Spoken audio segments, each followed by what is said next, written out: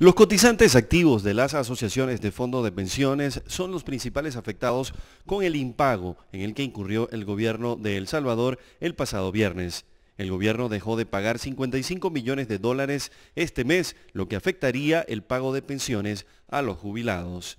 El impago también afecta la calificación financiera y crediticia de El Salvador a nivel internacional. El año pasado, las tres calificadoras de riesgo estadounidense Fitch Ratings, Moody's y Standard Poor's catalogaron a El Salvador como un país poco confiable de pagar sus deudas y ha provocado un alza de las tasas hipotecarias y de créditos personales. En El Salvador, la crisis ha generado problemas hasta en el sistema electoral. Ahora el Tribunal Supremo Electoral no tiene presupuesto para nuevas elecciones.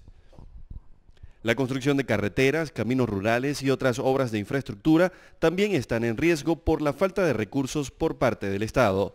Especialistas financieros recomiendan al gobierno completar la reducción de salarios de aquellos funcionarios que ganan mucho más que el presidente de la República. También congelar plazas de personas que se retiran o se jubilan o reducir la publicidad y viajes y viáticos, tomando en cuenta que debería primar la austeridad por la situación fiscal del país.